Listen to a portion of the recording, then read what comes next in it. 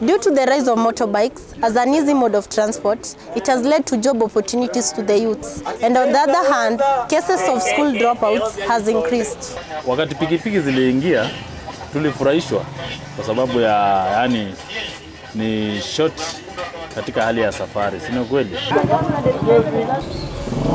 Sasa mtu akinunua pikipiki, yeye ajui kuendesha pikipiki, anapatia mtoto ule wa standard 7 ama hata 6 anaendesha pikipiki. Wameona waache shule waingilie hiyo biashara ya pikipiki.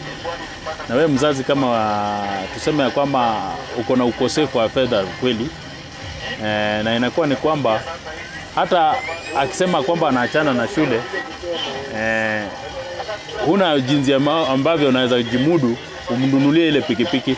Wewe ni Sara, Sara nani?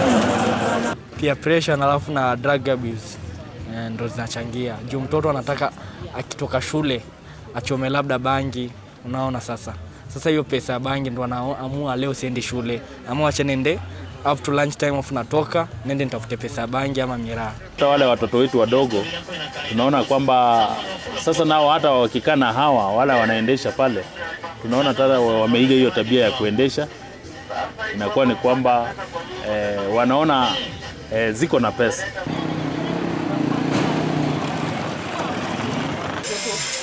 Wazazi wale wananunua pikipiki na sasa hivi waangalie watu wa- wale wamekoma kwa eh, wako na miaka kuanzia 18 kuenda mbele, ndio watoto ndio watoto waendelee na masomo. na nawapa advice advice yenye nitawapa ni ile ongane na shule wamalize tu shule maisha si rahisi maisha ni ngumu